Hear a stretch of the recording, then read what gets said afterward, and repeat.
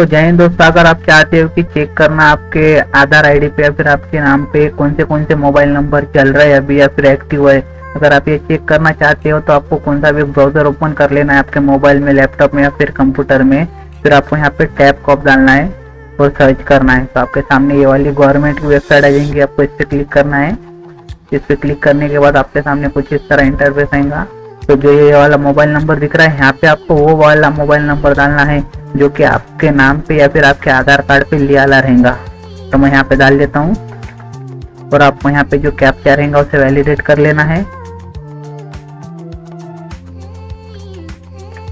ये जो भी रहेगा, वहाँ डाल के वैलिडेट कर दो। वैलिडेट करने के बाद सक्सेस हो जाएगा।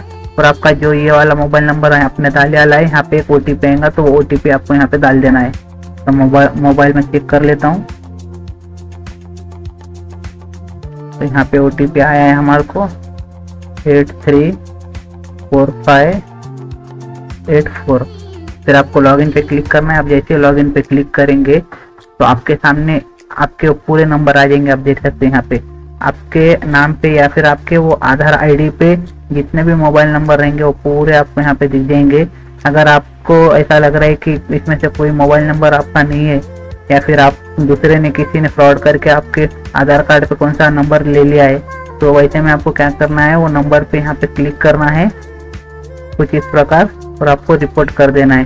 तो रिपोर्ट करने के दो तीन घंटे बाद वो नंबर वहाँ पे बंद हो जाएगा।